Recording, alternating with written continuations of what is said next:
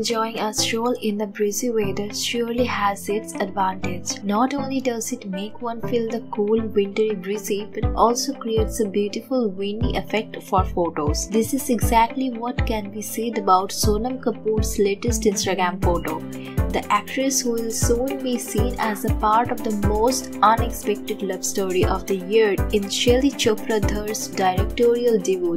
एक लड़की को देखा तो ऐसा लगा took to Instagram to share a ugly photo of herself enjoying a casual stroll in London. Not just this, Sonam's perfect assemble in the wintry weather surely proved why she is known as a fashionista and Bollywood. In the photo, we can see Sonam dressed in a check trouser and double-breasted coat along with an ankle-length black cover coat and black pointed shoes. However, amidst all this, the only two things that had our attention was her striking smile and her luscious curly locks. Her curly hairstyle surely made her stand out and look absolutely ugly. She also expressed how much she was missing her hubby Anand Ahuja through her caption.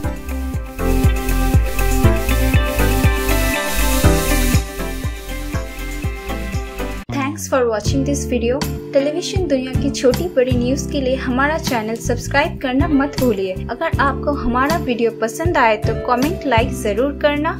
फिर मुलाकात होगी अगली video में।